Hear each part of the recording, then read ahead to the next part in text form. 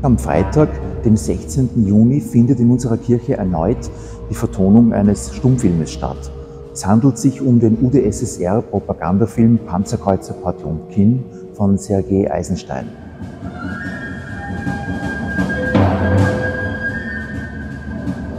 Die Vertonung passiert live.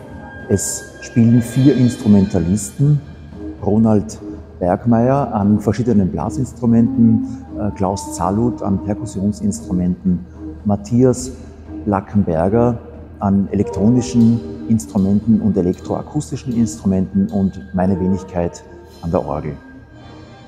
Mit bis 1925 noch nie dagewesenen filmischen und schnitttechnischen Mitteln versucht Eisenstein das Publikum auf eine intensive Weise zu fesseln und zu indoktrinieren.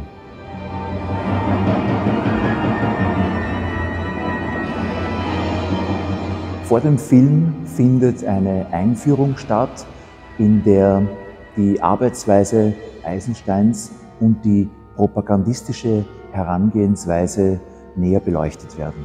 Wir freuen uns auf diesen spannenden Film- und Konzertabend, wo ein Kunstwerk mit höchst kontroversiellem Inhalt im Mittelpunkt steht.